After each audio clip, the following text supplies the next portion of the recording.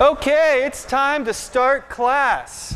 This is Math 1151. I'm Dr. Bart Snapp. You can call me Dr. Bart, you can call me Bart, you can call me Snapp, you can call me Dr. Snapp. Basically, any combination of those words is fine by me in, in that order. Like Dr. Snapp Bart, this isn't making sense, okay? Now, let's see. Almost all of the information for this course is on Carmen. You can access quizzes on Carmen. Is, are, we, are we cool with this? Don't play poker with me. Like, I don't know. I don't know. Do you think I'm, I can't read your mind. Yes. Is it yes? Come on, guys. Seriously.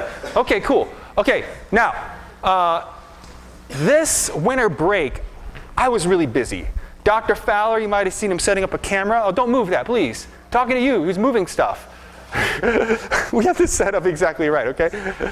Okay, so Dr. Fowler and myself and some other people were working on something that we call Mooculus, okay? You guys can do this. This is free. It's a bunch of calculus exercises. We currently have 25,000 students signed up for this all over the world. What's awesome about that is that 25,000 is a huge number. And we have forums there where people are asking calculus questions. You can go there, and then somebody from halfway around the world, all the way around the world, because, oh, wait, all the way around the world, is that in Columbus? I don't know. Somebody, any, anyway, somebody from who knows where can answer your questions for you. I suggest you sign up. Besides, we have all kinds of extra exercises. This class is going to be hard. Okay? I'm not going to um, lie to you. Okay? I'm guessing that when you see the exams, you're going to say, What? They're going to ask us this? You should be expecting it to be hard. Okay? Now, with that said, what can you do? How do you study for math? Does anybody know how you study for math? Oh, you got to practice. It's like a sport, you know? I can't watch somebody play tennis, right? Can I watch somebody play tennis and then walk out of the room and be like, I know how to do it and play tennis? No, you have to practice. You have to practice a lot, okay? And how do you practice? How do you, you what? You work problems. That's how you study mathematics. You work problems. And when you run out of problems, you find some more. You have to work problems. There is no other way to do this. This site will give you some more problems. Sign up if you like. It's Mooculus, M-O-O-C-U-L-U-S dot O-S-U dot edu. You see a little cow up there? That's a little mascot. Yeah? Cute, eh? Cow? Moo. Okay, anyways. What questions do you have?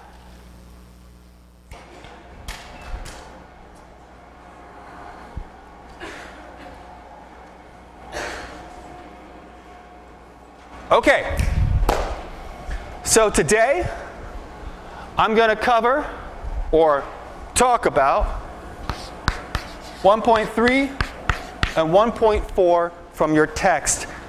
I think this is basically review, okay? And my goal here is not to cover every detail. My goal is to give you guys the big picture. That's, that's really my goal. And try to give, do some foreshadowing for the rest of the course. Make sense? All right. So, some of you guys, has, have we all seen logarithms before? Log, we know log, right? How do we feel about log? Do you like log? Is log good? Oh, as far as, or is log bad? I don't, well, you tell me it's good, but I don't believe you, you know? I would think the people saying log's bad are much more abundance, but, but sure. Okay, so here's the definition of a log. Log b of x equals y. This is the same as b to the y equals x, okay? Can somebody, now in math class, what I really want to see and what I think you want to see are examples. Can somebody give me an example of, uh, of a true statement involving log?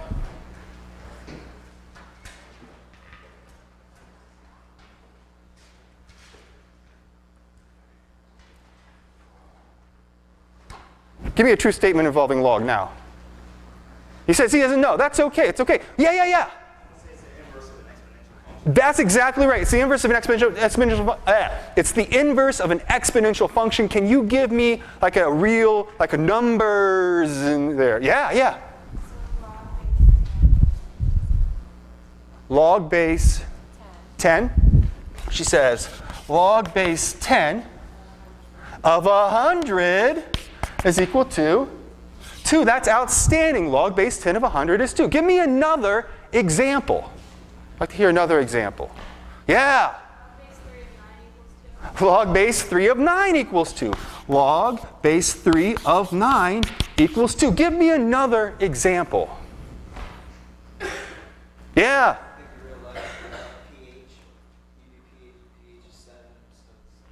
Oh yeah, logarithmic scales. What's something on? That's he said pH is on a logarithmic scale. It's like as it becomes more acid, acidic, or basic. What is it? Ah, yeah, yeah. What about what's something else on a logarithmic scale? Does anybody know? Richter scale. Which one is that? It's for earthquakes. A magnitude four earthquake is 10 times big. it's a lot bigger, right? I don't know. You guys should look that up. I'm just a human being, people. Okay, so now give me another example, though, numbers and log. Give me one that doesn't equal 2.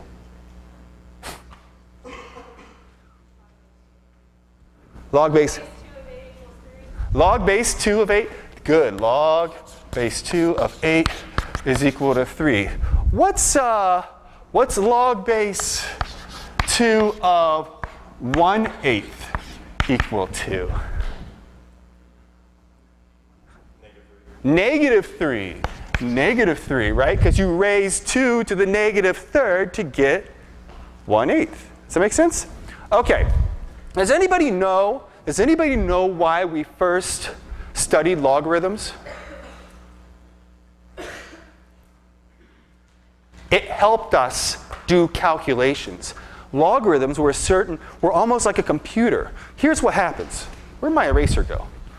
Okay, I need to. By the way, we're filming this, and so you can go home and wait. Uh, do you have a favorite TV show? What is it? Shameless, okay? While Shameless is surely awesome, okay, you could watch our calculus lecture over and over and over again. Wouldn't that be awesome? Huh? Huh? Yeah, I think so. Okay. Okay, so here's this. Okay, so how is it a compu computational egg? Aid, not egg. What am I, crazy? Okay, here's the deal. Log base b of x times y is equal to log base b of x plus log base b of y. If I were you, I might say, uh, so what? Okay, well, let's see if we can figure this out. Let's see if we can get to the bottom of this. And let me see if I can explain to you why this is true. Okay, so log base b of x times y, what's that, what's that mean? Oh, wait, sorry, I'm going to start over. My bad, my bad. Let me start over here. Okay, I'm going to set x equal to b to the p and y equal to b to the q. What's x times y now?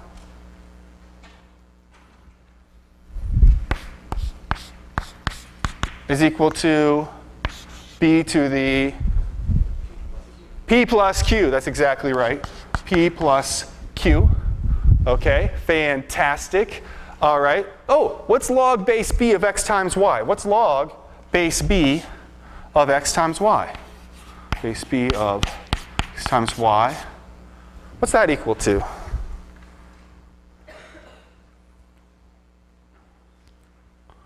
What's log base b of x times y equal to?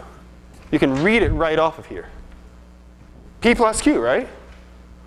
This is equal to p plus q because what do you raise b to to get x times y? p plus q. Okay, p plus q is equal to p plus q. What is log base b of x equal to? What's log base b of x equal to? Right? P. So this is log base b of x. And this one's equal to log base b of q, of, sorry, y. So these are all equal. I just gave you a little very quick proof. I did it really fast. It's like a magic trick. If I did it again, it would still probably be impressive. If it was impressive. Shoot. Okay, never mind. So anyways, are we good? Here's the key point. I'm going to get out this crazy chalk here. This is, ooh, that looks good. This is what? What, what type of operation is right here? Multiplication.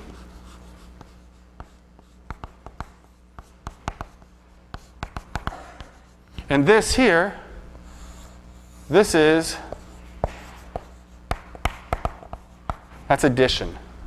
Logs are a way of turning multiplication into addition. You might say, well, I have a calculator. I don't need to do that. It's going to come up again. And it's going to come up again in our class in section 3.8. We're going to use logs in this way. Okay? Foreshadowing.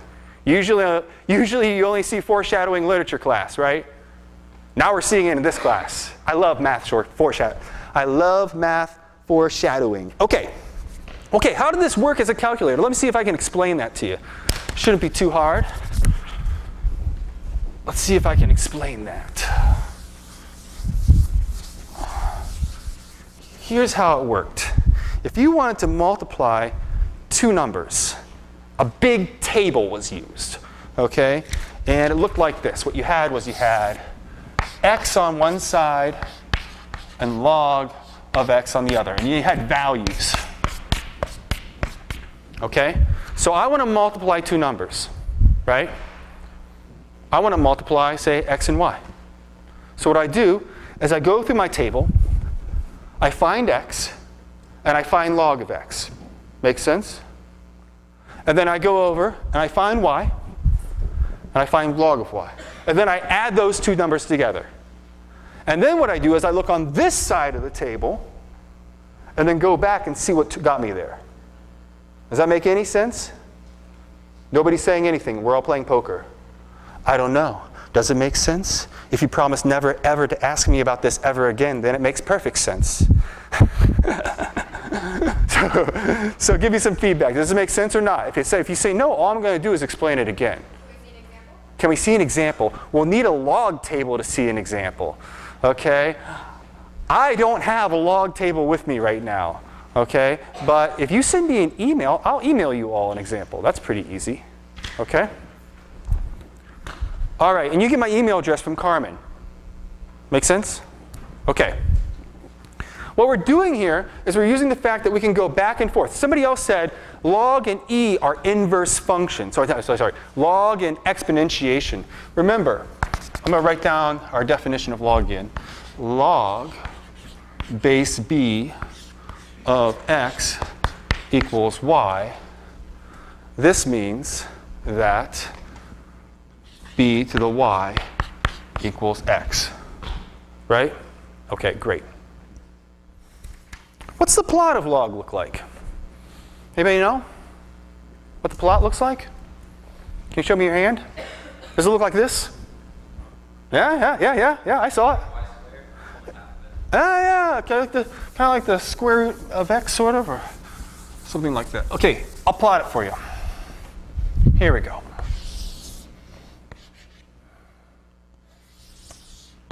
Here's our x-axis. Here's y. We'll use orange. Log looks like this. Like that. That's what log looks like. And where does log cross the x-axis? It crosses it at x equals 1 because what do you raise b to to get 1? 0, our favorite row. Okay, so that's what we raise it to. Now, have you guys, you guys know natural log, right? Natural log, ln of x. What's the base of ln of x?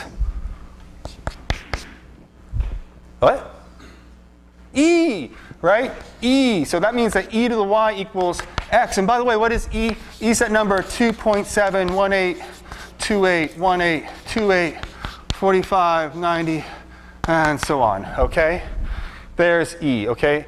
Now, does anybody know uh, a reason, a rationale why we might care? This seems like a pretty strange base, right? It seems like, like, why would you ever pick that base? Why not pick two? Why not pick three? Why not pick anything but this crazy transcendental irrational number? Does anybody know? It's okay. I wouldn't expect anybody to know, but because what? Yes. The ln of e equals 1, but log base b of b is always 1, right? Works for any base. But yes, ln of... The reason, the reason is Euler, here, Euler, Euler, not Euler, Euler, it's spelled like Euler, okay? He noticed that if you plotted different log functions, they would cross this uh, x-axis with a different slope, okay? And what's the best slope? Can anybody tell me a good slope? Like if I have a line, I'm have a line, it's going to be of an easy slope. What's a good slope to have for a line? One. And he said, I want this to cross the x-axis with slope equal to 1. Which log did he find? He found the natural log when that happened. That's what makes the natural log natural. Okay? I thought that was kind of interesting. I'm just sharing. Okay. So there's the natural log. Oh yeah, what's the what's it's the inverse of somebody said natural log of e equals 1, right? So the base is e, so I should plot yeah, I should plot e to the x or here here here's here's my plot of e to the x. There we go. Boop, boop. Oh, the curve. Okay, that's pretty good. That's what e to the x looks like, right? Yeah, this will be e to the x. By the way, can you tell me, um, can you tell me why you cannot take the log of zero?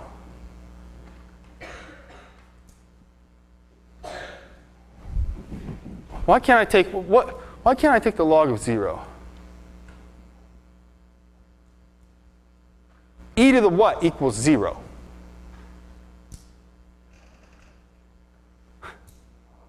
She's shaking her head. I'm gonna, I'm, gonna, I'm gonna interpret that shaking of your head as nothing e to the nothing equals, because look, as I move here, it gets closer and closer to the horizontal axis, but it never touches, okay? That's why you can't take the log of zero.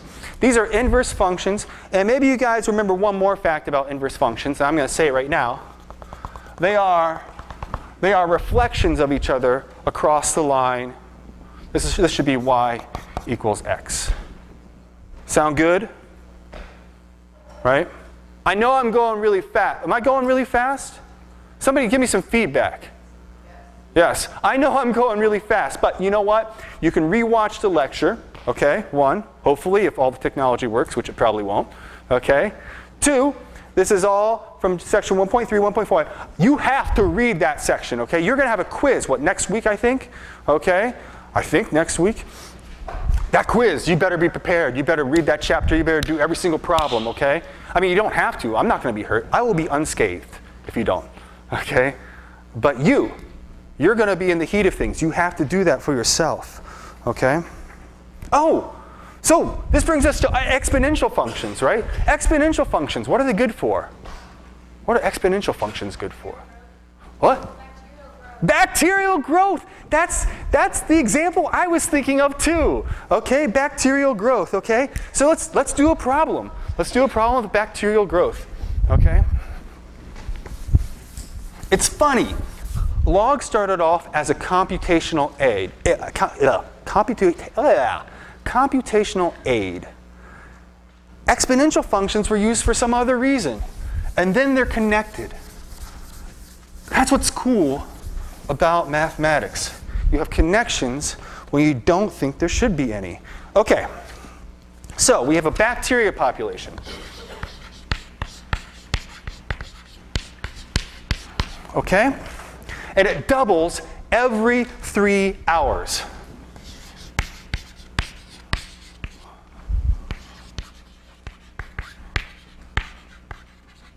A, ba a bacteria population that doubles every three hours. One, how many bacteria after 42 hours? How many bacteria after? And we're starting with one. So you start with one bacteria, it doubles every three hours. How many after? Start with one.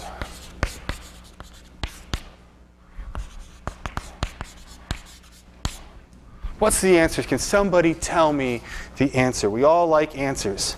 We all demand answers. I'm going to erase this.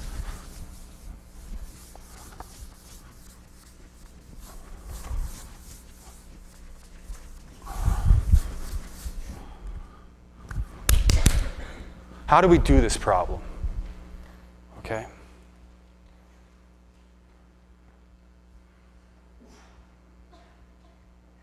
Oh, yeah. You, you just shout it out, by the way.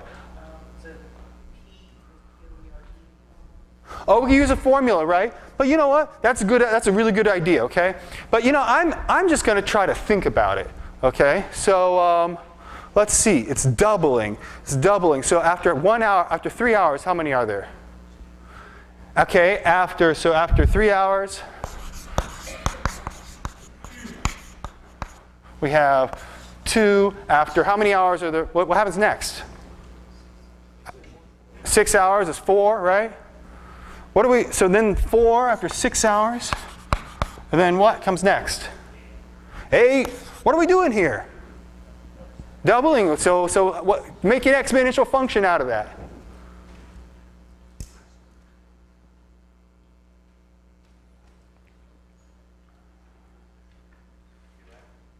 Two x. Is that right? She says no. What's the answer? Anybody? I know it's scary. I know it's scary sitting here in this big lecture hall, but you know, they're videotaping me, okay? And I'll tell you what I'm not afraid of. I'm not afraid of not answering the question, okay? If you guys don't want to answer it, just telling you, I'm cool with that. But you better give me an answer. How'd you do it? Yeah, so, so, so when you say kept on doubling it, tell me, be specific. What's that mean, double it 13 times? And how are you getting those numbers? That's great. You're doing a great job. Multiply by 2. What's repeated multiplication called, people? Exponentiation. He's doing 2 to the t, right? Right? That's awesome. Okay, and how did you get that final number? How high did you go to? And why'd you go to 13? 42 divided by 3. So what we should do is put a t over 3 here, right? And when, when you plug it in, does it work? Does that make sense? I don't know. I have no idea what's going on. I'm just repeating what some guy told me, okay? Does it make sense or not? Yeah, talk. Ah, good. He says, don't we have to multiply that whole thing by our original amount? Yes, and what's our original amount? 1. So this is going to be our answer. Okay, and let's call it P of T for population, okay? And then you told me the answer, right? I'm going to I'm to believe you. So he says P of 42 is equal to what? 8,192. If it's wrong, it's just because somebody told me that, okay? But don't worry, you're not on film. Nobody will know, okay? Okay, so there we go. That's awesome. Thank, thank you. That's fantastic. Okay, let's do, let's do, I have another question though. I have another question. Here we go. How many bacteria, two,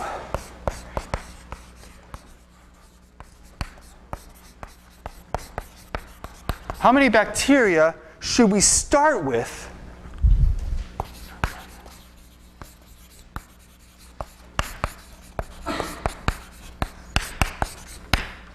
okay, to obtain 26,880 at hour 24. How many bacteria should we start with to get this many bacteria at hour 24? Make sense?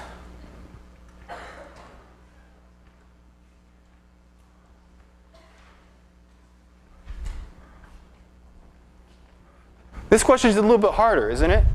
Just a little bit, not too much. I'm going to erase this. All right, can somebody get me started? You don't have to say the right answer. Any answer is good, even if it's wrong. I don't know. Okay? Somebody, tell me something. Tell me an answer. I have no idea. That's a good idea. Maybe it involves log. What are you going to say back there? yeah, how'd you get it? Uh, okay, so so what are you going to say? If x is the starting population, okay, times 2 to the 24 over 3 because we're raising, we're doubling the po- population every three hours. So in 24 hours, how many times do you double the population? Eight. Eight. Good. Because 24 divided by 8, 3 is 8. Okay? And so then this is going to equal what? Oh, 26, 8, 8, oh, right? Is that right? I don't know what I'm doing. I'm just repeating what other people are telling me. It's called teaching. My theory of teaching is if you learn anything in this room, or if I'm even remotely by you, I taught you it. Okay? That's my theory. Okay, so, anyways, so now, what happens here? What do I do now?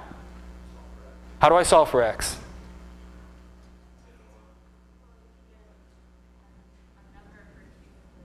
Ooh, 2 to the 8th, right?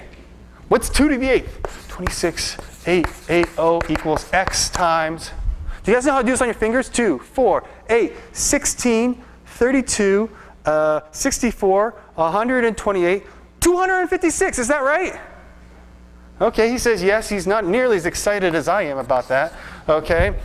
Okay, so now, what do we, oh, we divide both sides by 256, and what do we get here then? 105 is equal to x. Fantastic. What do you guys think? So starting population of 105 bacteria. Good? Okay, great. Okay, I've got one more question for you. Okay, one more. And this guy over here was talking about logs. That's where this is going to come up. Okay, so one more question. Here we go. How long Number three, how long, okay, would it take a population of seven to reach 57,344 uh, bacteria? Okay? How long would it take? So how do I do, I don't even need, I don't care what the answer is. All I want to know is how to do it. Does that make sense? What should I do here?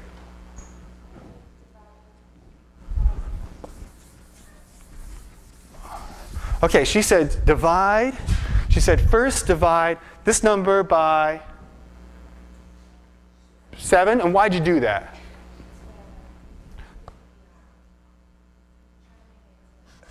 Yeah, this is like, we have this. We have 5, 3, 5, 7, 3, 3, 4, 4 is equal to 7 times 2 to the t over 3. Isn't that right? Am I right? Great. Okay. Oh, we divide by 7. What do you get when you divide by 7?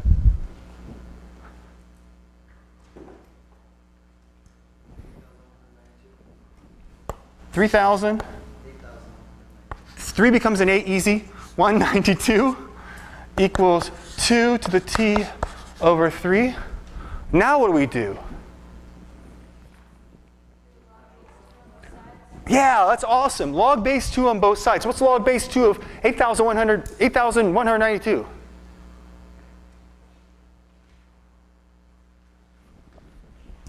Oh, you know, do you guys know how to do log base 2 on your calculator? What you can do is you can do natural log of 8,192 divided by natural log of 2. Did you know you could do that? That gives you, this is equal to, this is equal to natural log of 2. Did you guys know that? Somebody shook their head, no, I'm pretty sure. See, taught you something. Actually, you have to remember it. What's the answer? 13. Awesome. So now we have, ooh, I took, I I, we go here next. So we have 13 is equal to, what's natural log, what's log base 2 of this thing? T over 3. Yeah, okay, and then what's 13 times 3 equal to? Hmm, I can almost do this in my head. Oh, 39, is that right? Yeah? Really? 39 is equal to t, so after, ah, that's awesome. Okay, so does that make sense how we did that there? Anyone? Yes? No? No? Yes? You saying no? You okay? Purple plaid shirt?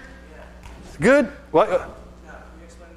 Yeah, yeah, yeah, yeah. Okay, I'll, I'll start from here. Okay, so we had a population of 57,344 bacteria. Here it is, okay? Right? Next, we started off with a population of 7. Here's the 7, and it's going to double every 3 hours, so it's time 2 to the t over 3, right? So the first thing we did is we're just solving for t now. So we divided both sides by 7. Okay? That's 8,192 is equal to 2 to the t over 3, right? Now we have to take the log base 2 of both sides. Some people's fancy calculators might have a button for that, but the way you could do it is using that log base 2. Oh, oh, oh, oh, oh, this is wrong. This is wrong. Finally, hmm, I was hoping to make it past further than one lecture without making a crazy mistake. But no, no. Okay. so, so now, I should just do that all the time. No. Yeah. Okay, okay, that's not going to work. Okay, so, um, okay, so this is log base 2 of this, okay? Am I, Excellent. And then this is equal to 13. And then this, because it's 2 to the t over 3, and then we just multiply both sides by 3 and we got it. Bam! Okay, excellent. Okay, that's great. Now let's do something else. Oh, let's see. Okay. Hmm. So e to the x and natural log of x are inverses. They undo each other. What is what is natural log of e to the x equal to? x, that's right. That's outstanding, okay? Let me write that on the board. I'm to erase some stuff.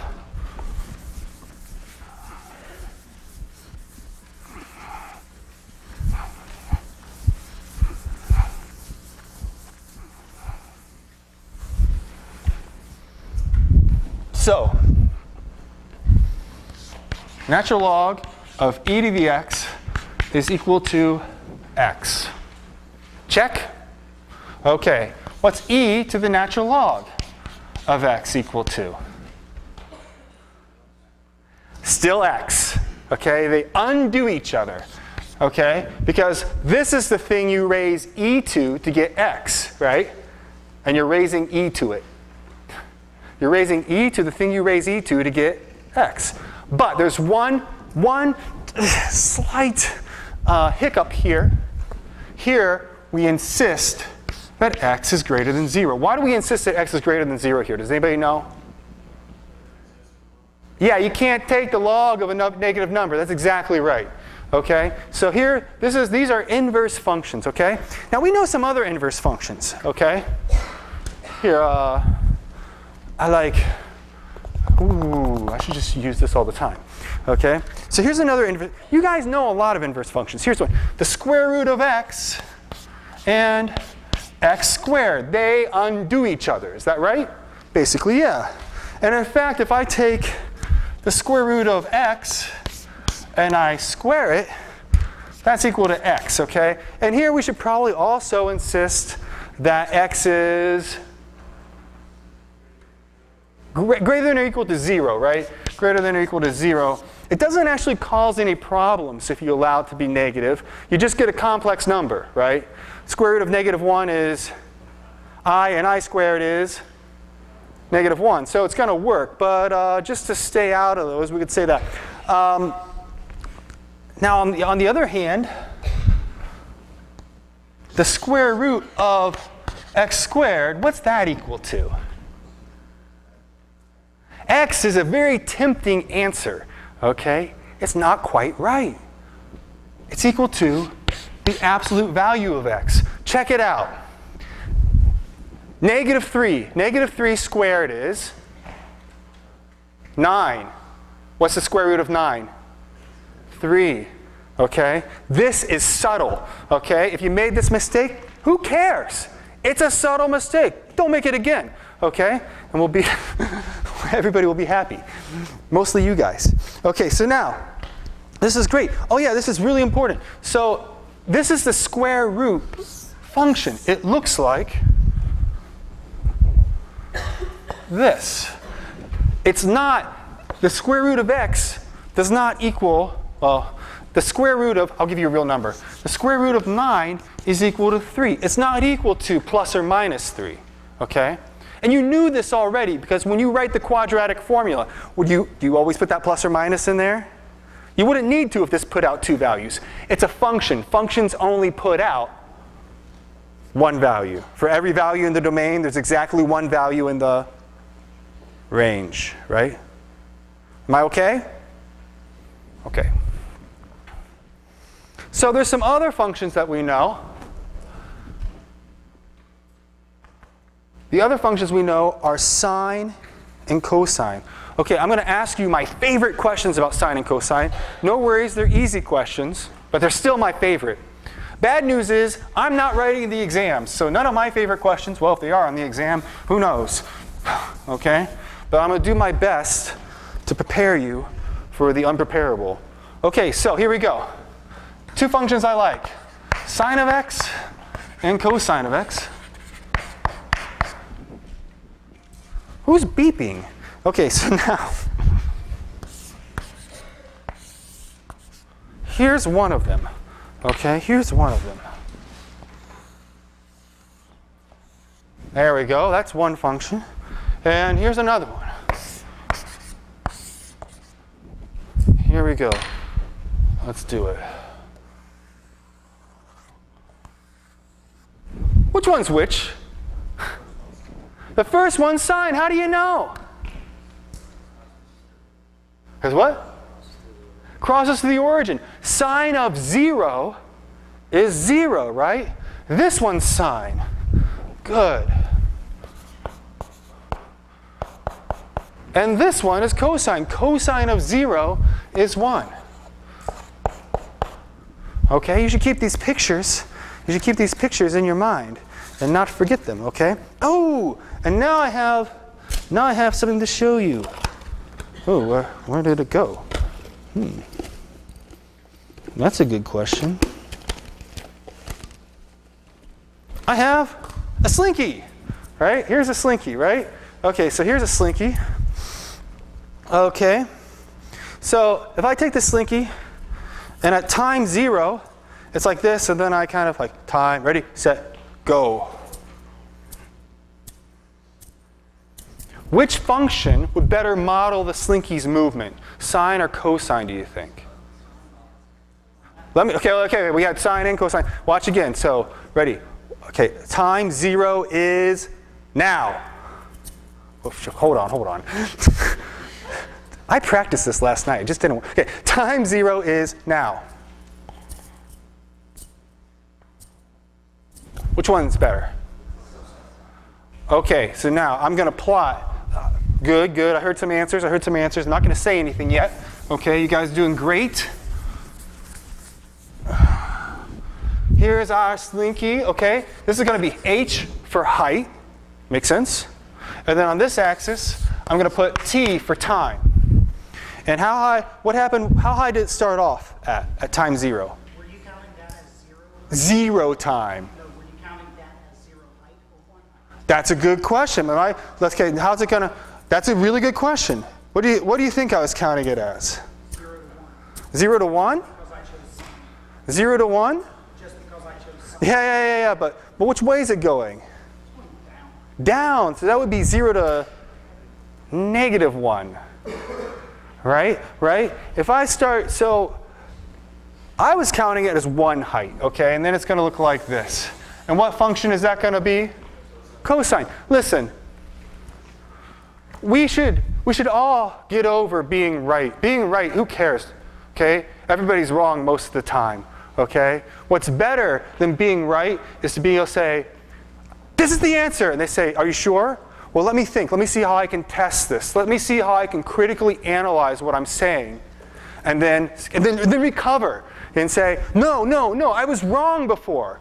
Who cares? It's in the past. Like my words that I just said, they disappear, right?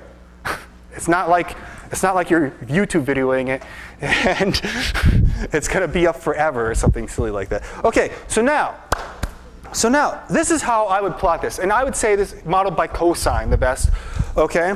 And what time is the slinky at height 1? Time 0. The slinky's at height, height 1. And then, what about here? Is that another time when the slinky's at height 1? Yeah, there's, there's lots of answers, right? It's hard.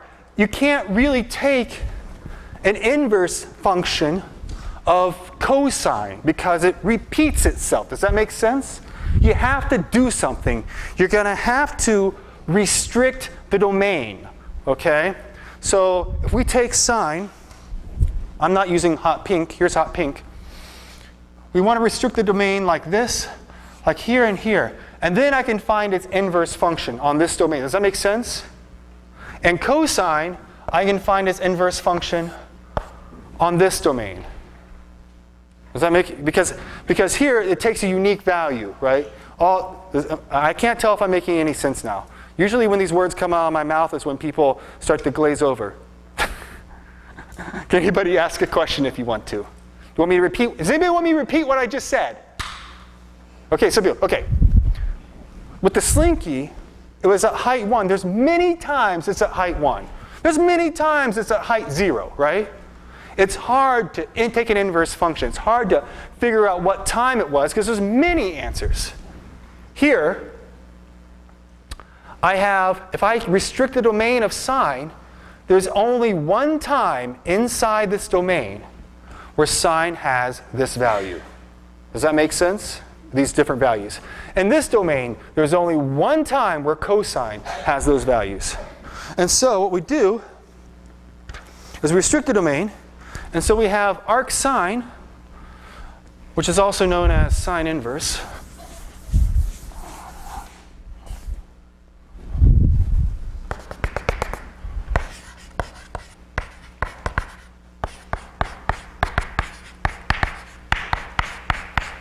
Those are the same thing, arc sine and sine inverse.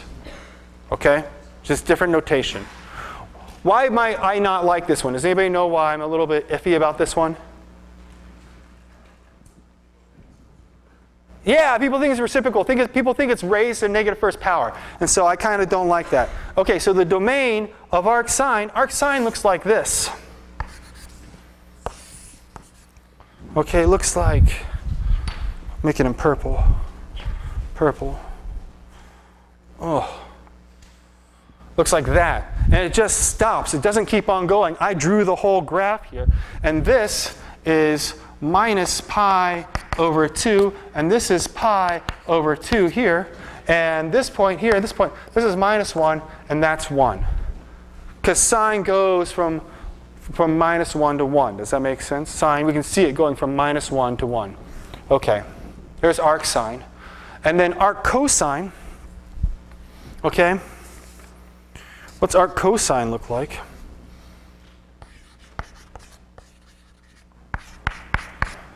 also known as cosine inverse. Arc cosine looks like, what color have I not? I think this one's good. Arc cosine looks like this. Like that. Okay? And this value here, let's see, this is 1, this is negative 1. Does anybody know what that value there is? Pi. That's what I think you said. I think you said pi.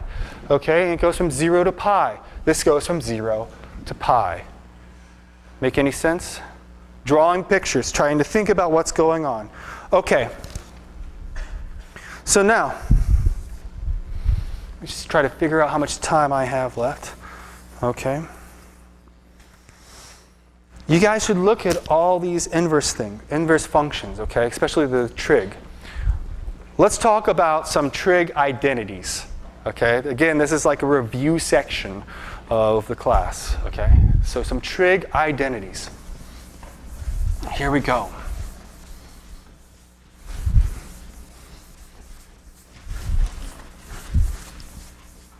What's, what's the most famous theorem in all of mathematics? The Pythagorean theorem. Do you guys know any other theorems? You know, it's so famous. It's shadow, just blankets black. I don't know, whatever. Okay, it's so famous that you can't see anything else. The Pythagorean theorem. The Pythagorean theorem says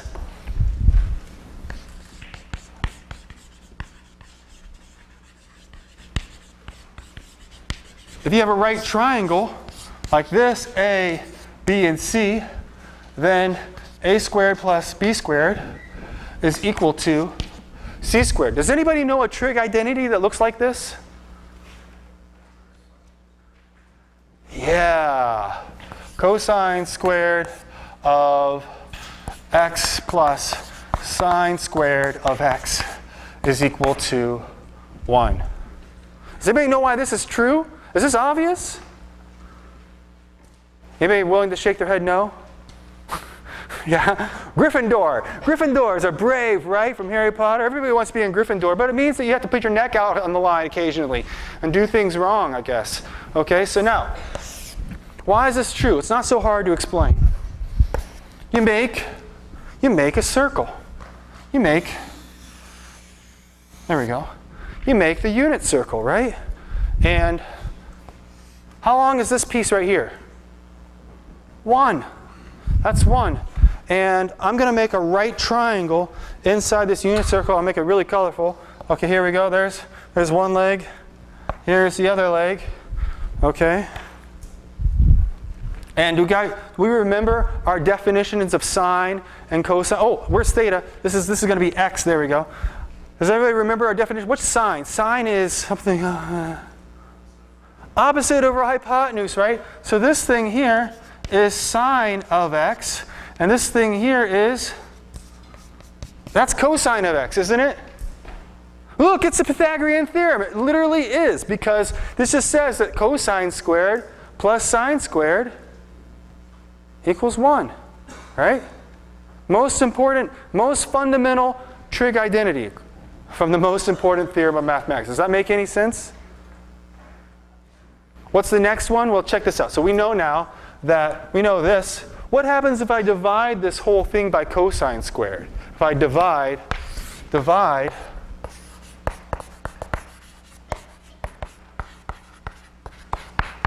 by cosine squared x. Anybody know what happens? What's cosine squared x divided by cosine squared x? 1. Then we get 1. Okay. Plus, what's sine squared x divided by cosine squared x? Tangent squared, outstanding.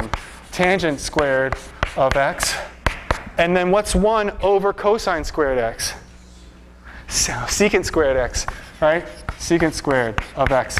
These are fundamental um, identities, okay? And we're going to be using these at a later point in the class for sure, okay? And I'm pretty sure, unless I'm doubting myself now, but I'm pretty sure we're going to use them in 3.9, okay? Just so you know.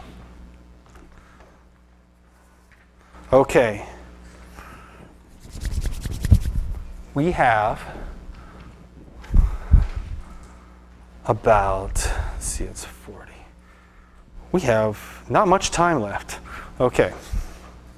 I'm going to do one more problem, I think, and then we'll be done for today, okay?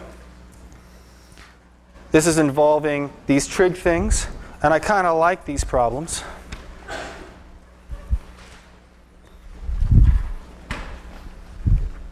Here we go.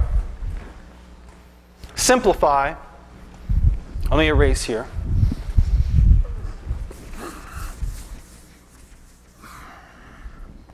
Simplify.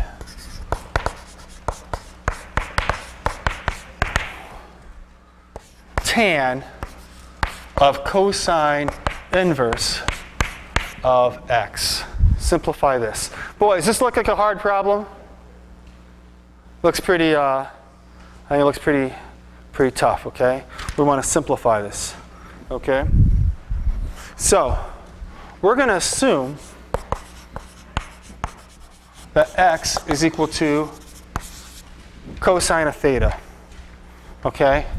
Where 0 is less than theta. It's less than equal to pi. You should watch this again. You should go over this again. Okay? And then I'm going to draw a right triangle whose angle is theta. Now, I'm assuming that um, x is equal to cosine of theta. How do you find cosine again? What do you do? Remind me again. Adjacent over hypotenuse. So if I want cosine to be x, the easiest thing I could do is I could say this is x, right? And this is 1. Is cosine of theta equal to x now? Yeah. How long's how long's this side? Square root of 1 minus x squared, right? Okay. Excellent. So now tangent tangent of cosine inverse of x, okay? Well, look, this whole thing here, that's equal to theta, okay? And tan theta, what's tan theta equal to?